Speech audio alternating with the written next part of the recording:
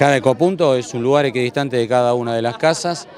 Tenemos que llegar a, mucho más de 20 de los de este año en toda la geografía de San Isidro, donde se pueda clasificar el plástico, el cartón, plástico y papel, cartón, eh, bueno, todo el vidrio, todo lo que a uno de otra manera no lo podría hacer. Pues estos chicos que estaban con nosotros están entre 13 y 16 años y dialogando con ellos tienen una fuerte convicción respecto del cuidado del medio ambiente. Aparte son cosas concretas, en escasos dos años bajamos un tercio de la basura que se deposita en el SEAMSE.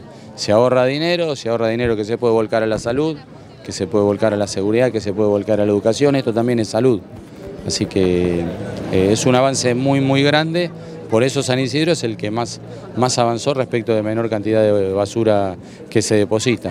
El municipio, los municipios pagan por el tonelaje que depositan en el SEAMSE. Todo ese ahorro se vuelca nuevamente, entre otras cosas, a los ecopuntos.